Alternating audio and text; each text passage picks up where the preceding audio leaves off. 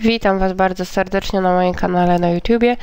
Jestem korepetytorem online z przedmiotów ekonomicznych, ale tylko takich ilościowych jak badania operacyjne, matematyka, statystyka, matematyka finansowa, finanse przedsiębiorstw czy ekonometria, prognozy itd. Tak Całość mojej oferty możecie znaleźć na stronie internetowej zadaniaprojekty.pl e, A dzisiaj Wam chciałam pokazać z, powiedzmy ze statystyki opisowej z zakresu um, dynamiki zdarzeń indeksy jednopodstawowe. Jak je się liczy?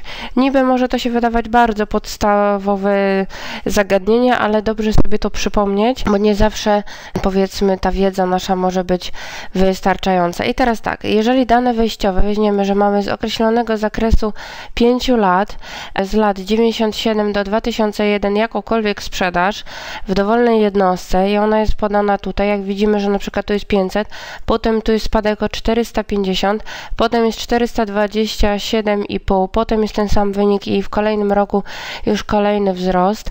Widzimy na pewno, że te wyniki są różne dla kolejnych lat, a chcemy się dowiedzieć, jak następowały kolejne zmiany procentowe, ale w odniesieniu do określonego roku.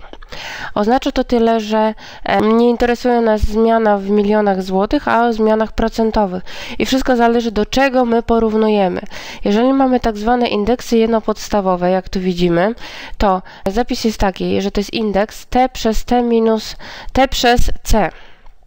Oznacza to tyle, że wartość z bieżącego roku, z dowolnego roku zawsze dzielimy przez wartość z konkretnego jednego roku.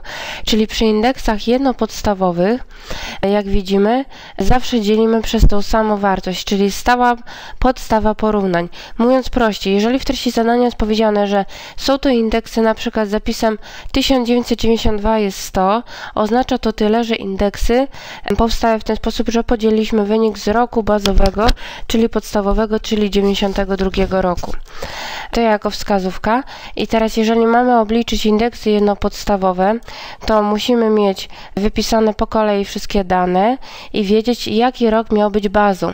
Jeżeli zapiszemy sobie, że 100 równa się 1998, oznacza to, że każdą wartość, którą tutaj mamy, musimy podzielić przez wartość 98 roku. Co to nam daje? Że 500 podzielimy przez 450, również 450 podzielimy przez 450 i wychodzą nam wyniki. Wszędzie, jak zwrócicie uwagę, podzieliłam przez 450 i wychodzą wyniki gdzieś około jedynki. Dlaczego?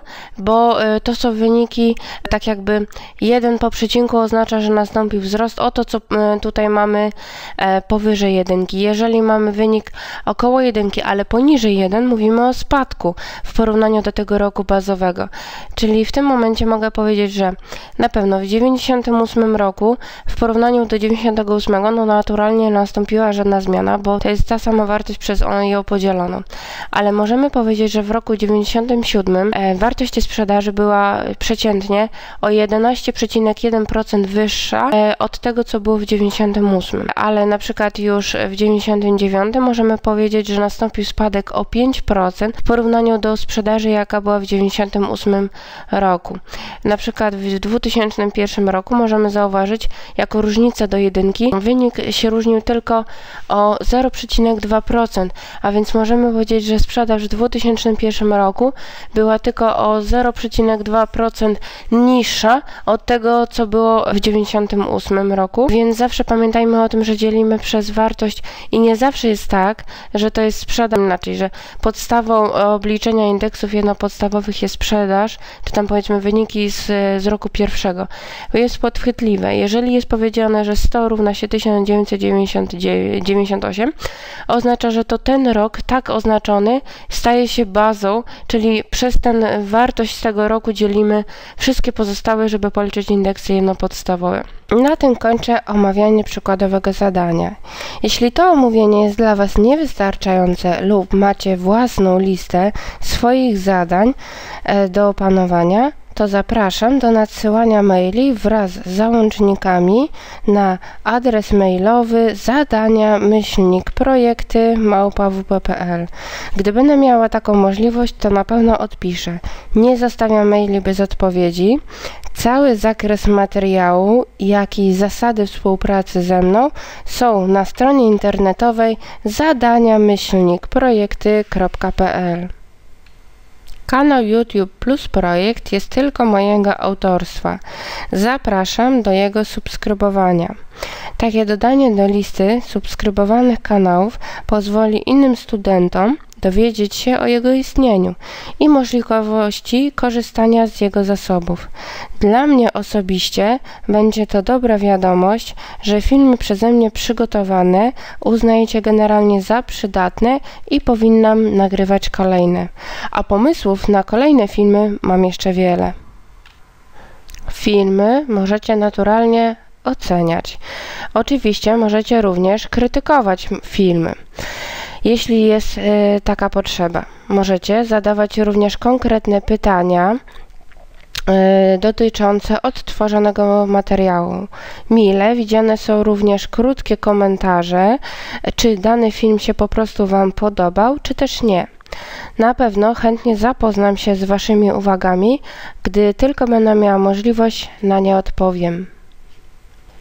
Zapraszam do udostępniania konkretnych filmów znajomym, czy to na maila, czy to na forum studenckie.